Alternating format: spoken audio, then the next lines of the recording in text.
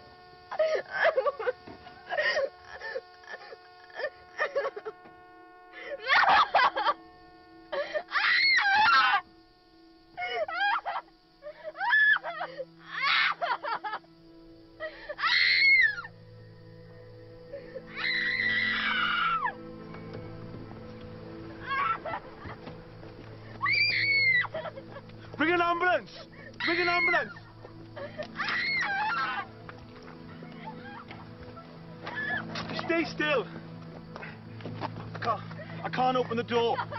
Just, I've rung an ambulance.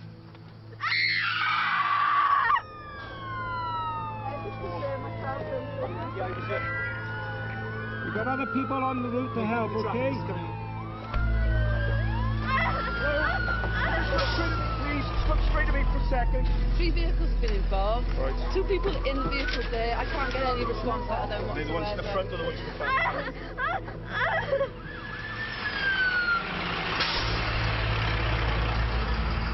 Mommy, Daddy, wake up!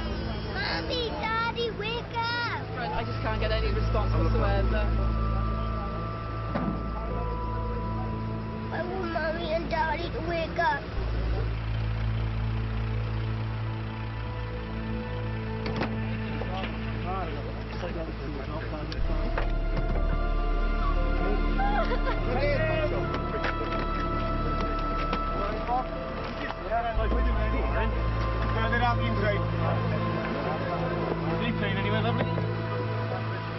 Yeah, is there?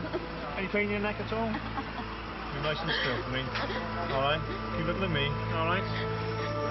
Cassie? Cassie, you can hear me? What's your friend's name in the back? What's it? Jules, is it? No, she's still there for me. She's good.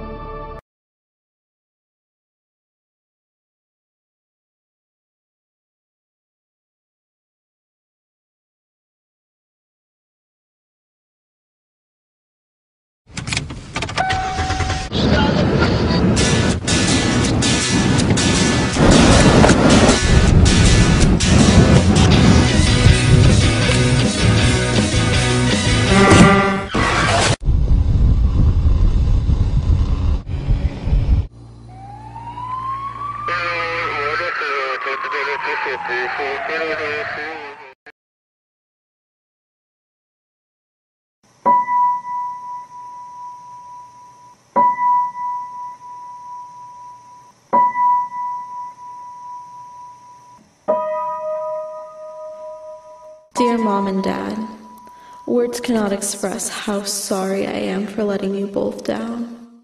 You raised me well. You taught me to be smarter than this.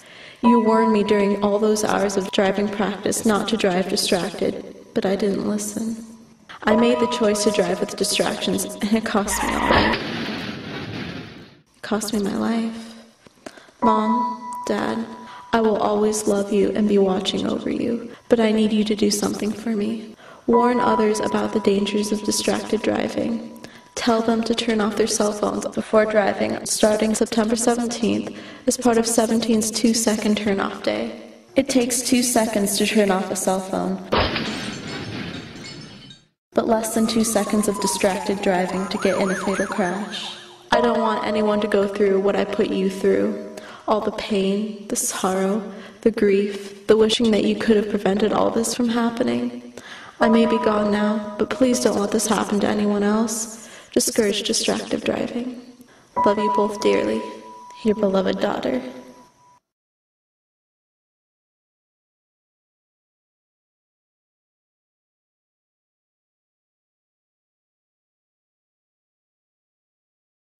We've all seen the warnings and heard the message countless times not to text or talk while driving. But for many adults and many more teenagers, the temptation to multitask is often too great. On the computer, on their cell phone, they're texting, they're instant messaging, they're posting Instagrams, they're twittering. Seemingly small distractions, but the doctors at Borgess Hospital's Level 1 Trauma Center know how quickly those small distractions can become a big problem. About 90% of our patients are from blunt trauma, which in most cases is from automobile accidents. Um, and that applies probably to both hospitals. And the, the number that are from distracted driving is relatively high because if you think of it, anytime somebody's blown through a stop sign, they got distracted somehow. One driver's decision to take his eyes off the road for just seconds forever changed the lives of one New Jersey family. 21 year old Casey Feldman was killed as a pedestrian in 2009.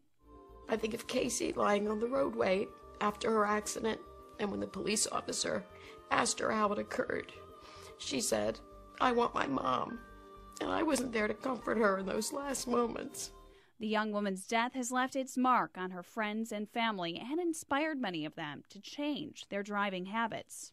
And it just it made me realize that that could have easily have been me, that could have been my sister, it could have been anybody.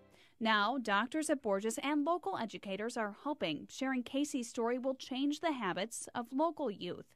They're teaming up to prevent faces of distracted driving at as many local high schools as possible because even though they've heard it before, educators and healthcare providers know all too well it always helps to hear it again. And we can't just do it once.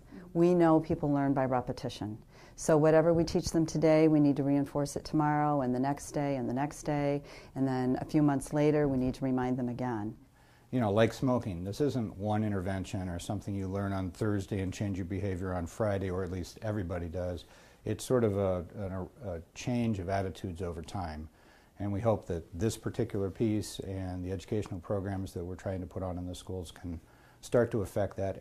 For Doc Talk, Marcy Koberger, News Channel 3.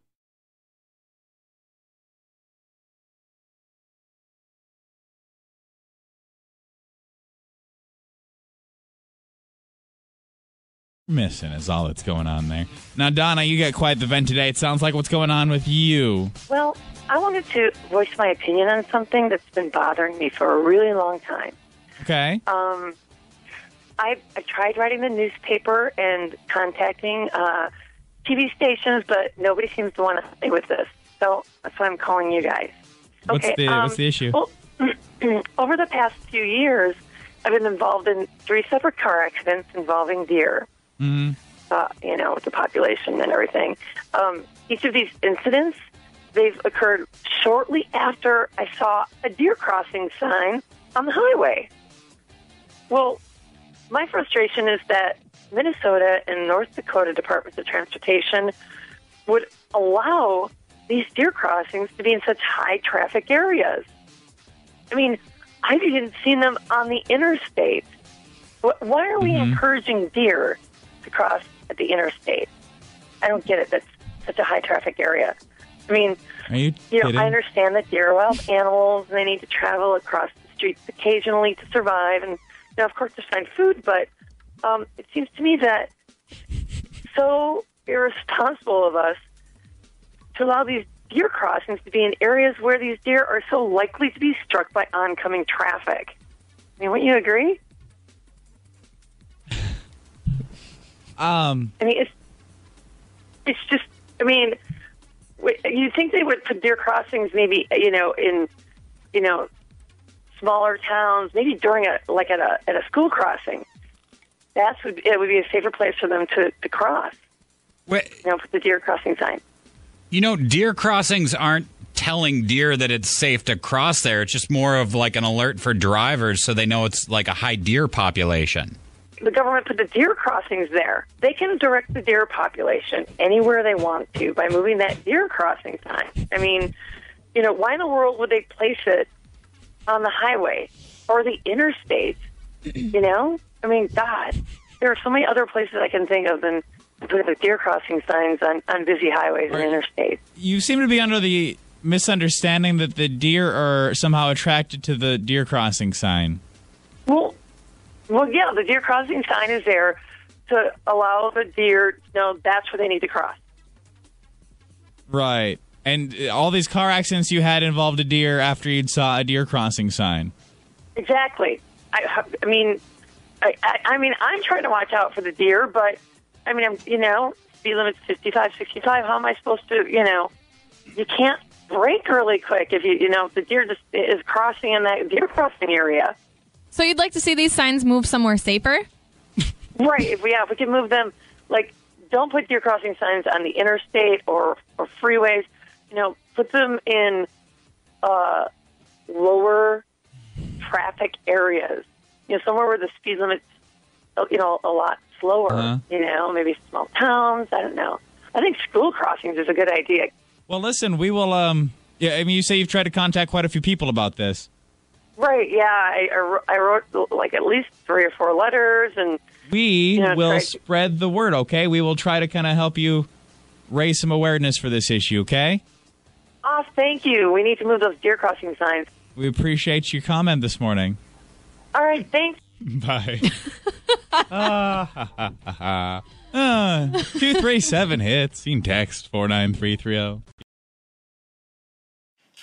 Ladies and gentlemen of the Playhouse family, now after having received well over 1 million views on YouTube, may we welcome back to the show Fargo's own Donna the Deer Lady!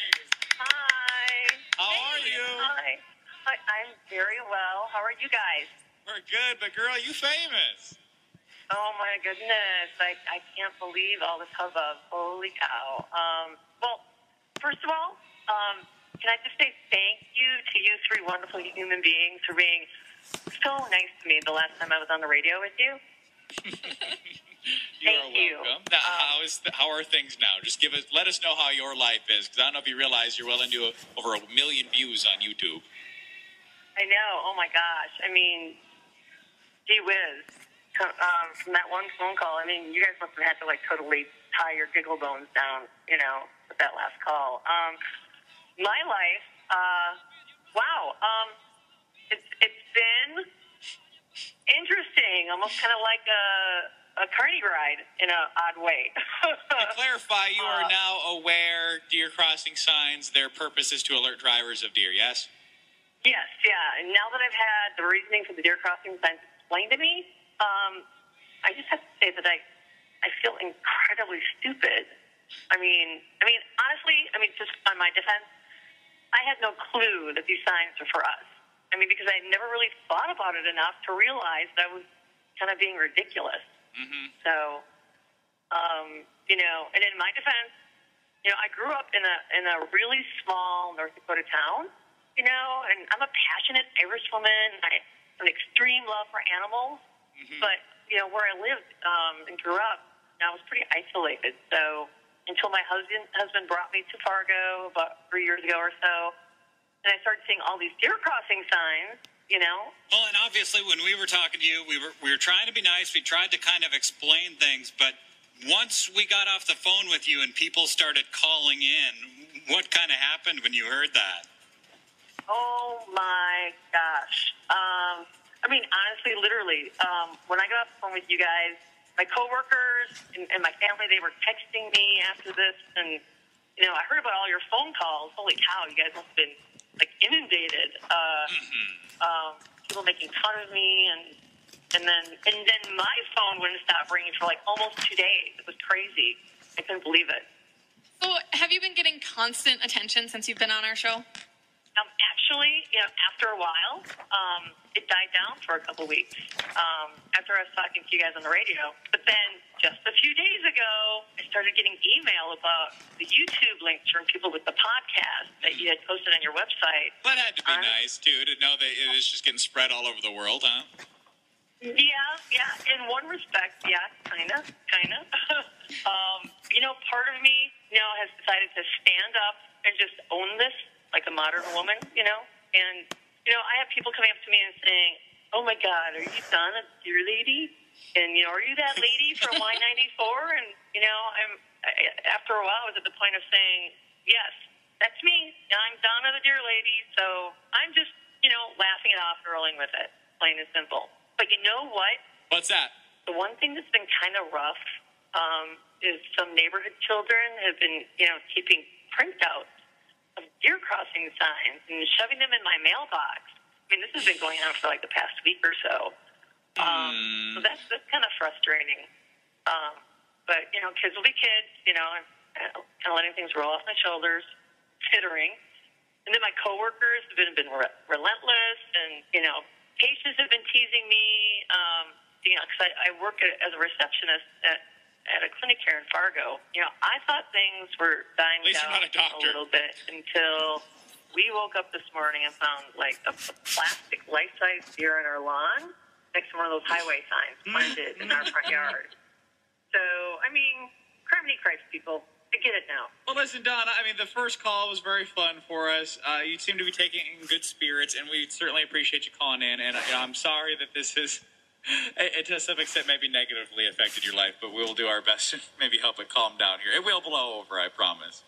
You know, thank you so much. That's so sweet. Uh, you know, I'm a concerned woman of, of, you know, when it comes to certain subject matters. And honestly, you know, I absolutely learned uh, a good lesson out of the whole experience, if anything else. Um, but, you know, I would kind of ask um, if I can ask people to stop sharing the links of our Herfield conversation, you know, that, you know, that would be kind of nice. You know, I really want the recording of my first call to kind of go away soon.